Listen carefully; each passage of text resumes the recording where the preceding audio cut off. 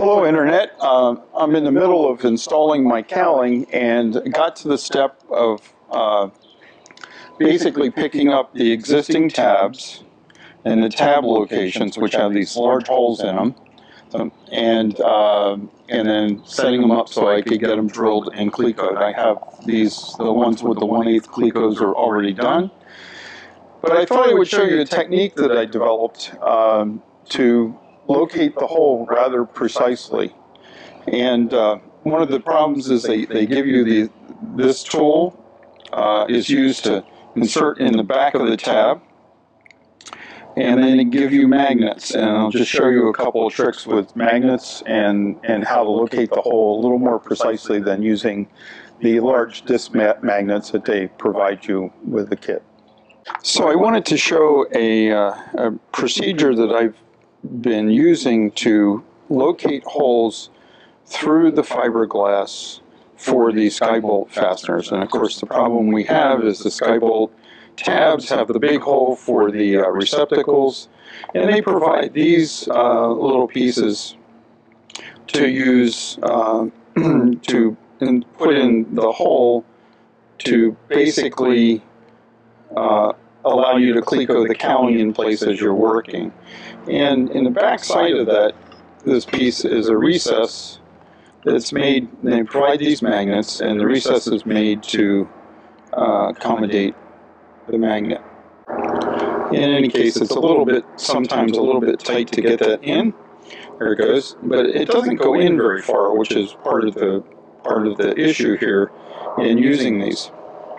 They want you to use one of uh, one of the similar magnets to uh, to use on the outside of the cowl. So if this strip represents the cowl magnets, this strip represents the cowl. They would want you to put this here, and the problem and, and use that to locate the hole through the cowl. The problem I find is that there's a little excessive ambiguity. See, I can push this; it doesn't necessarily end up dead center.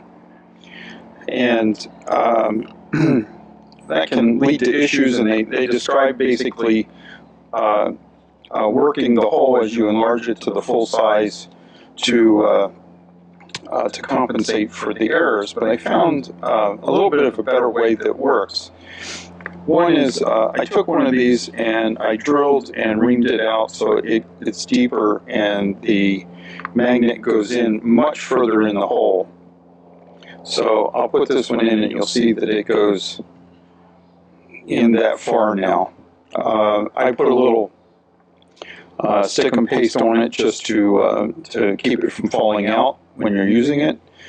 But then the, the, I tried that thinking that was going to get me uh, a little bit better result, but I still had this ambiguity. It's better, it's a lot better, but there's still a bit of play where this can doesn't identify the dead center exactly.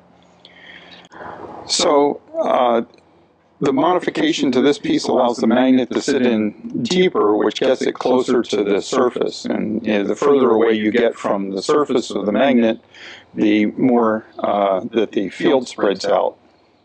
And so you'll see that I just then I determined that the easy way to uh, to find this on the other side was by using just a standard steel sewing needle on a thread, and it centers itself right in the center of the pole and the magnet. So I like this, but it seemed, um, and, and, even if I put a piece across here now to represent the distance or the thickness of the material we're using, you'll see when I hang this, it'll just go right to the point. And that's the point you mark to drill the hole.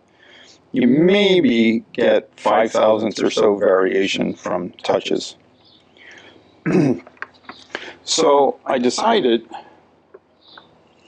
to try and add these uh, these uh, these are uh, rare earth magnet beads to the uh, to this whole arrangement, and you can get eighth inch beads uh, online any any number of places for you know pennies a piece, And anyhow, I stack them in there and they will align themselves pretty well with the field. Uh, let me take, I only need one.